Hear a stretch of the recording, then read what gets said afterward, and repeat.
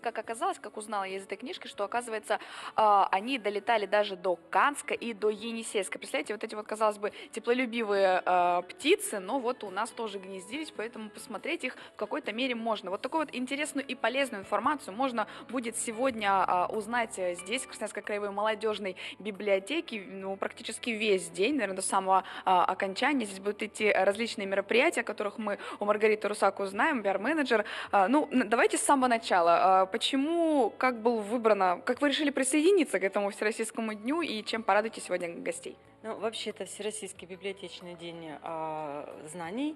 А, мы решили к ней присоединиться, потому что все-таки у нас есть уникальные и столбы, да, заповедник, и как бы мы многое можем на самом деле рассказать и показать, и есть еще и литература.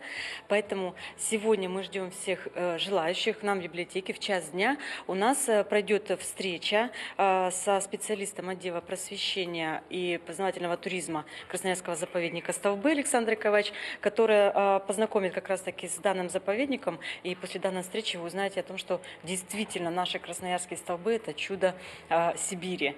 Э, в три часа дня у нас будет э, в дискуссионной площадке «Короткий метр», который есть на базе нашей библиотеки, проходить э, фильм, э, документальный фильм «Дыхание тундры». То есть там нет слов, но на самом деле, когда смотришь эту короткометражку, да, э, создается такое впечатление, что ты прям окунаешься в эту природу.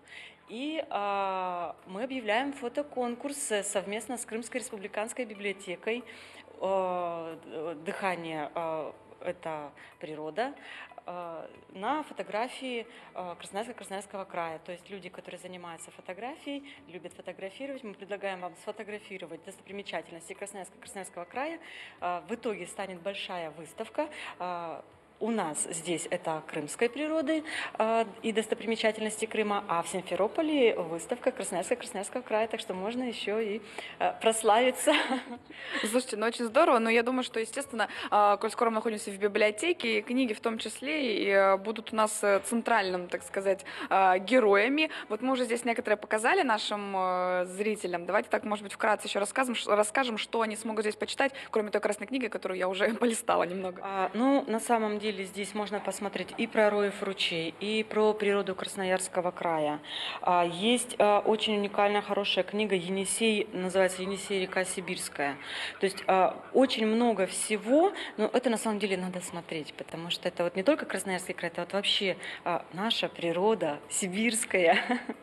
Но я так понимаю, что не только, наверное, совсем молодежь ждете, наверное, ограничений особых нет по возрасту? Нет, ограничений особого, конечно, нет по возрасту, поэтому мы ждем ждем всех желающих, э, для кого интересна данная тема, а, кто хотя бы вообще познакомиться, например, с, с тем же заповедником Столбы и узнать, что значит там лазить по-столбовски, к примеру.